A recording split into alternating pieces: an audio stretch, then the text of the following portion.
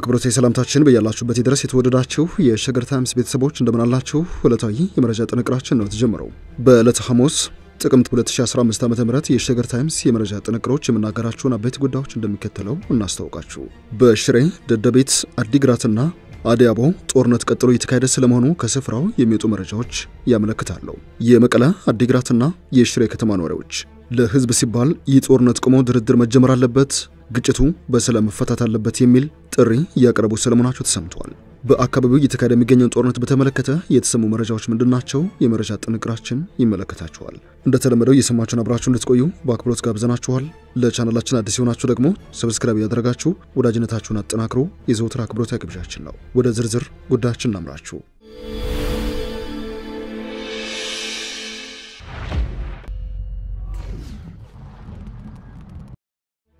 ለሶስተኛ ዙር የተቀሰቀሰውን ጦርነት ተከትለው በሰሜን ኢትዮጵያ የቀጠለው ግጭት አሁንም ተባብሶ መቀጠሉን የትግራይ ክልል ነዋሪዎች ተናግረዋል።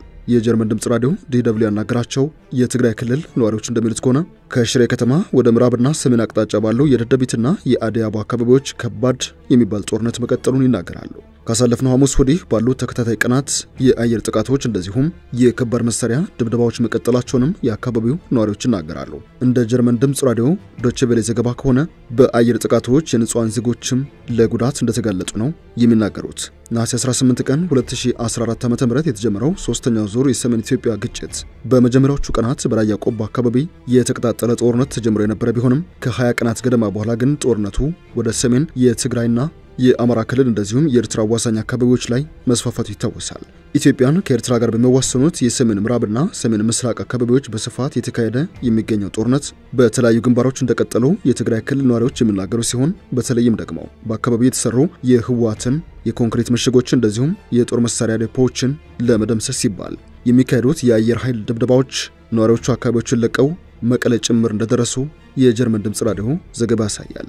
ከአካባቢያቸው ሸሽተው መቀለ ከተማ ጭምር ደርሰዋል ከተባሉ የትግራይ ክልል ተወላጆች ባለፈ ጦርነቱ በሰላማዊ መንገድ እንዲቋጭ የሚጠይቁም በርካቶች ናቸው። በትግራይ ክልል የቪሳት ኢንተርኔት አገልግሎት አልፎ አልፎ እንደሚሰራ ይነገራል። ይህንን አማራጭ ተጠቅመው ከዓለም ጋር እንደሚገናኙ የሚናገሩት የሽሬ ከተማ ነዋሪዎች ከከተማዋ ወደ ምዕራብና ሰሜን አቅጣጫ ባሉ የደደቢትና የአዲያቦ አካባቢዎች ከባድ የሚባል ጦርነት እየቀጠለ ነው። ካለፈው ሐሙስ ጀምሮ በሚካሄዱ የአየር ላይ ጥቃቶች በሽረ ከተማና አካባቢው ድብደባ መፈጸማቸውን ተመልክቻለሁ ሲሉም የዓይን እማኙ ይናገራሉ። በመቀለ የአየር ጥቃቶችን በመስጋት በገበያዎች፣ ቤተ እምነቶችና ሌሎች እውነቶች የህዝብ መሰባሰብም እንደቀነሰ ነው የሚነገረው። ትላንትን ጨምሮ በየቀኑ የጸረ አውሮፕላን ተኩስ በከተማው ይሰማል።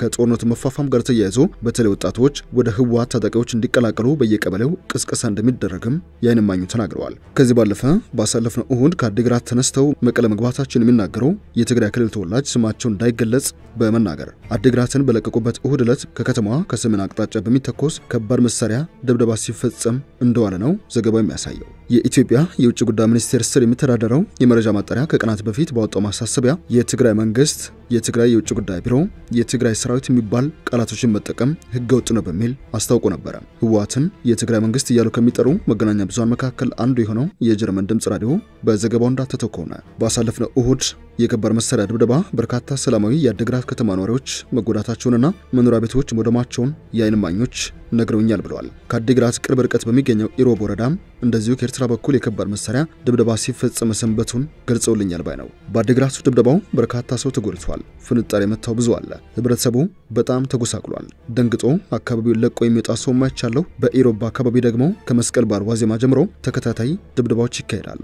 ከአይጋ ተራራ አካባቢ ተኩሱ እንደሚተኮስ እንሰማለን። የከባድ መሳሪያ ደብዳቤዎቹ ደግሞ የኤርትራ ጦር ሰራዊት አባላት ናቸው ብለዋል የጀርመን ድምፅ ራዲዮ ዘገባ።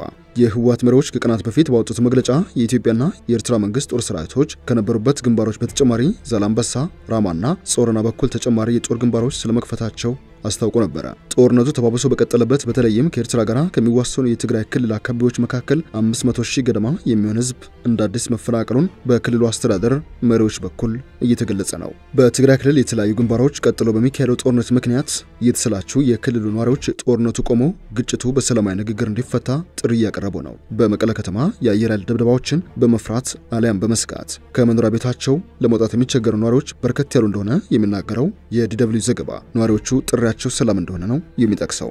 ዮሐንስ ገብረ ሚካኤል የተባለ የመቀለ ነዋሪ አሁን እንደምናየው በቃ ህዝቡ በከባድ መሳሪያ በድሮንም በሚግም እየጠፋ ነው። ህዝብ እየተጎዳ ብቻ ነው። ይህ ጦርነት ከተጀመረ በኋላ እየገጠምን ያለው መጥፎ ነገር ብቻ ነው።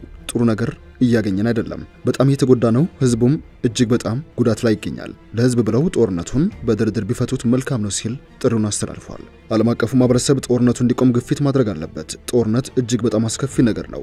የትግራይ ህዝብ ከባድ ችግር ላይ ወድቋል። ዓለም አቀፍ ማህበረሰቡም መድኃኒት፣ ክትባት፣ ሰብአዊ እርዳታ ማቅረብ አለበት። የመቀለ ነዋሪዎች የሰላም ጥሪ ነው። መጋቢ አዲስ መምህር አማ ማርቆስ የሚባሉ የከተማ ነዋሪ በበኩላቸው ነገሩ እጅግ በጣም መመለስ የማይችልበት ደረጃ እየሄደ ይመስላል። ሁለት ሶስት ዓመት አይተነዋል። ትክክል አልሆነም። ስለዚህ አሁን በተለይ የሃይማኖት መሪው ሰላም ቢሰብክ፣ መስቀል ይዞ ሰላም ቢያውጅ፣ ህዝብ አስፈጅተዋል። ጠቅላላ ኢኮኖሚም ደቋል። አይቶ የማይማር ፖለቲከኛ መኖር የለበትም ከመንግስትም ጭምር። ይህ ከሆነ ትርፉ በቃ ሁሉም ነገር ያለፈው አልፏል። አሁን ግን ሰላም ነው የምንሻው ሲሉ ጥሪያቸውን አቅርበዋል።